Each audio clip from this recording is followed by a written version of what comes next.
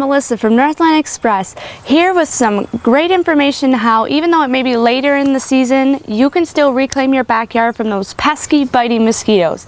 The best way though to do this is going to be start at the source. Mosquitoes breed in water so it's important that rather than just swatting them away or covering yourself in mosquito spray that you actually take care of the problem and that's by either treating or eliminating standing water sources around your property or area that you're trying to enjoy without mosquitoes. It's really simple to do. Of course, the first thing is to take a little bit of time, go around your property and look for sources that can be holding standing water.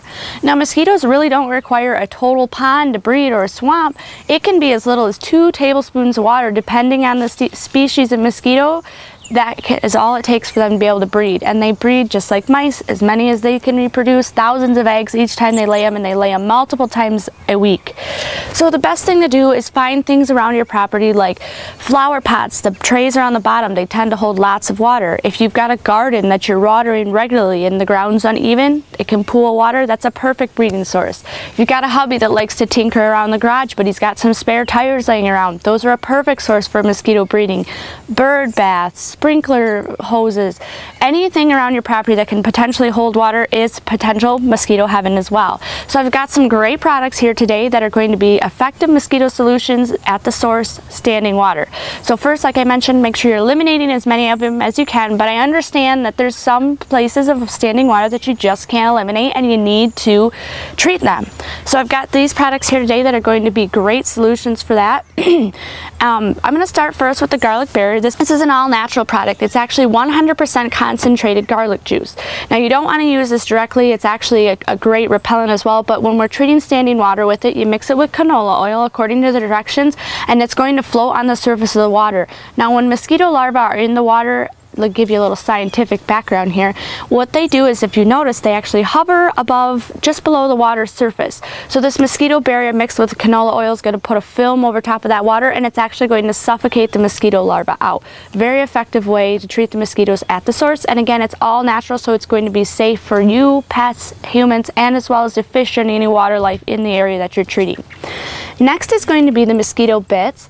This is great for, like I was talking about, if you've got small sources of water, like flower gardens that you're watering regularly. Um, also eaves, if you've got eaves, you can treat these with it. Bird baths, flower pots, anything outside that you've got, these are going to be great, but it's good to use these for the smaller areas.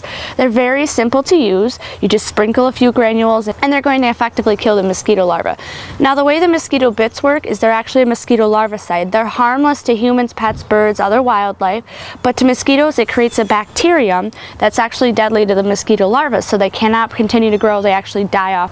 Once this dissolves and it affects the water that the mosquito larva is in, that's how that's going to work, and it's going to be effective. It's going to work within 24 hours, so you'll, you won't really notice it because the way you are going to notice it is that the mosquitoes aren't there because that larva never had a chance to grow up into adults. Now if you've got larger areas of standing water, like maybe a swamp on the perimeter of your property, or you've got a pond or horse troughs because you've got some horses or livestock, these mosquito dunks are going to be the better option for you. Now if you've got any, you want to stock up on the dunks and you've got smaller areas as well, the dunks can be broken up and used that way. And the other nice thing about dunks is if you've got a spot, maybe you get some flooding, you live close to a river where it floods and then backs off and it's only a real problem in the beginning of the season, you can still use the dunks because even if they dry up and then get wet again, they're still going to be just as effective as the day you put them out.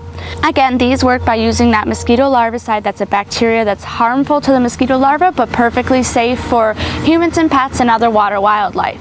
The way you use these is you're simply going to want to throw them in. If you're trying to treat a specific area in the water, you can also tie some type of string to them and anchor it to the shore of the water that you're trying to treat. But effectively, they're going to work if you just let them float around as well.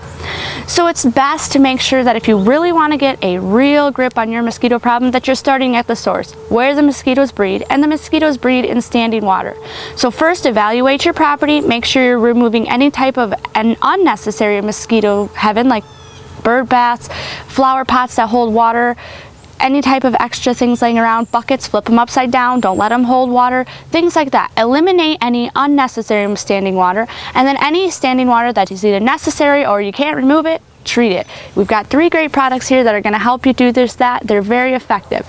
Keep watching our Reclaim Your Backyard series. Next, I'm going to teach you how to use mosquito traps to reclaim your backyard.